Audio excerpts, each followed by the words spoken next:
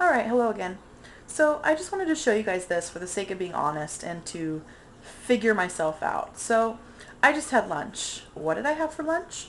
I just made an entire box of macaroni and cheese.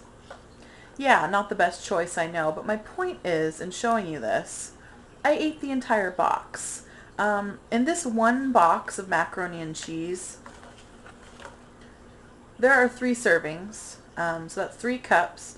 There's 200 calories, um, only one gram of fat. Hmm. All right, whatever. 42 carbs, 7 grams of protein, 4 grams of sugar. That stuff doesn't really matter. But the point is, I'm still hungry. Like, I could eat something else. I'm not even full. I ate an entire box of macaroni and cheese, and I don't feel full. I'm really hoping by having this surgery that I'll get that feeling of fullness. I don't know if it's that I eat past the point that I feel full now and I just keep on going and it doesn't bother me or that I really just don't have that feeling of full. Is my stomach just so gargantua that I can fit that much food in? I don't know. Anyway, um, I'm hoping that with the surgery, I mean, I've heard that people can eat through it I don't think I would be one of those people. I mean, I'm committed to making the lifestyle changes necessary to lose the weight. Sorry, that's my fish tank in the background. I'm not, you know, no one's peeing or anything. If you can hear that noise, I don't know. Um, but oh, now I'm totally off track. Sorry.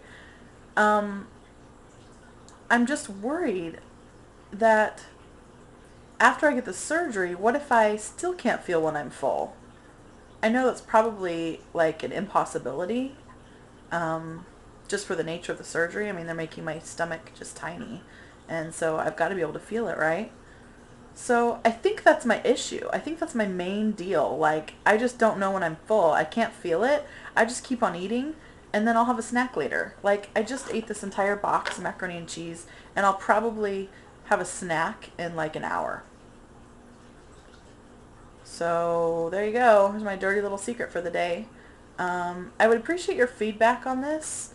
I don't know if I'm alone in this type of situation or if there are others of you that before surgery just never felt full.